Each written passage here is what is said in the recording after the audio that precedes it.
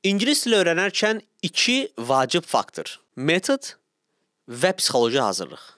Bu günləri bu mövzu ətrafında danışacağam. Gəlin başlayaq dostlar ilk öncə metoddan. Çünki metod ümumiyyətlə hər bir işi görərkən bizə lazım olan mexanizmadır. Yəni düsturdur. Mən həmişə bu misalı verməyi sevirəm. İstərdim yenidən sizlərə paylaşım. Fərz edək ki, siz bu günləri bir maşın yarışına hazırlaşırsınız və bu maşın yarışında sizə iki fərqli seçim verilir. Birinci seçim ondan ibarətdir ki, sizə deyirlər ki, sizi biz ən son brend keyfiyyətli maşınla, yəni misal üçün Ferrari ilə təmin eləyəcəyik. Amma buna baxmayaraq bizim yanacağımız, yəni benzin çox da keyfiyyətli deyil. Yəni premium benzin deyil. Sizdən istədiyimiz finiş xəttinə birinci gedib çatmağınızdır. Sual: çata bilərsinizmi? Cavab böyük ehtimal ki, xeyr. Çünki sizin kimi başqa bir Ferrari, lakin premium benzinlə, yəni yanacaqla təchiz olunmuş başqa bir mühərrik sizdən o finiş xəttinə tez gedib çatacaq. Yaxşı, gəlin ikinci seçimə baxaq. Sizə deyirlər ki, yaxşı, əgər problem premium benzindədirsə, biz sizə ən son keyfiyyətdə yanacaq verəcəyik. Amma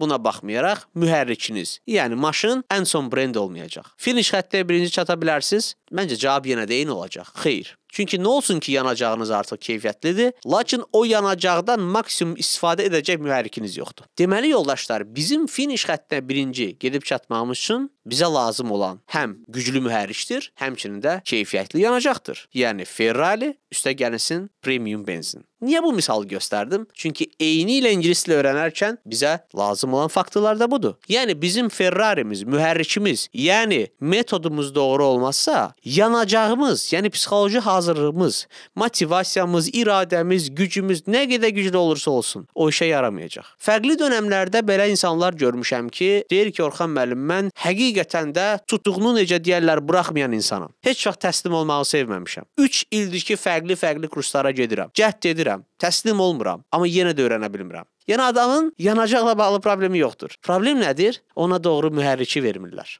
Yəni onun Ferrarisi yoxdur. Yanlış metoddan işləyir. Qrammatika əzbərləyir, testlər yazır, çalışmalar eləyir. Yəni bu yol doğru yol deyil, yoldaşlar. Amma məsələ də budur ki, bəzi hallarda görürsən ki, misal üçün izah edirəm insanlara, onları o Ferrari ilə tanış edirəm. Yəni mühərriki izah edirəm ki, dil dinləməklə öyrənilir. Bizim başqa yolumuz yoxdur. Başa düşür və başlayır da hətta. Amma bir neçə həftədən sonra artıq yetərsiz və yaxud da ki, natamam psixoloji hazırsızlıqdan əziyyət çəkir.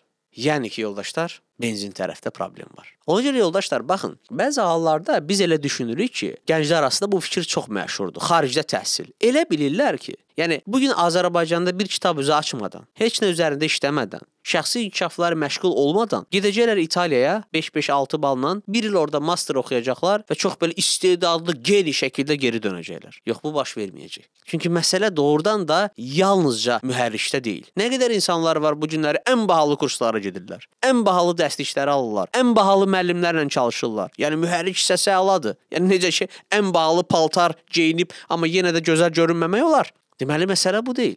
Metodu tapmışıqsa mən sizə alqışlayıram. Başa düşün, artıq bu qrammatika metodu qaldı keçmişdə. Yəni artıq 20 21-ci əsrdə 2023-cü ildə test çalışmaq demək həqiqətən eyibdir. Yəni bir baxın dünyaya, necə öyrənirlər dili. Görəcəksiniz ki, hamı dinləmək, bir nauşnikdir, qulaqçıqdır. Qoyurlar qulaqlarını evdə, çöldə, gəzəndə, yeyəndə 70 yaşlı insan da ingilis də ispan dilini öyrənir. Amma bunun yanında da gərək ki, bizim doğru psixoloji hazırlığımız olsun. Mən başa düşürəm, psixoloji hazırlıq birdən-bir ortaya çıxmır. Burada sizə xüsusilə mentor dəstəyinizə ehtiyacı var. Sizin də mənim də. Bu gün mənim üçün mentor rolunu oynayanlar kitablardır. Hansısa bir fərdi şəxs deyil. Amma ola bilər ki, siz üçün mentor rolu oynayan mən olum və ya da ki, artıq ingilis dilini öyrənib bu yolu keçən insanlar olsun. Nə edəcək mentor? Mentor sadəcə sənə başa salacaq ki, misal üçün sən başlayanda doğru metodla, işləyəndə 15 gün sonra səndə ruh düşkünlüyü olacaq. Bu çox normal bir hadisədir. Hətta olması labüddür. Amma bu hala düşəndə bax bu cür reaksiya verəcəksən və sən başlayacaqsan icra eləməyə. Bir neçə gündən sonra artıq o əhval-ruhiyyənin geri döndüyünü görəcəksən və həvəslənəcəksən ki, "A, mən həmişə bu əhval-ruhiyyəm aşağı düşəndə buraxmışdım. Sən demə illərdir bu tələdə ilişim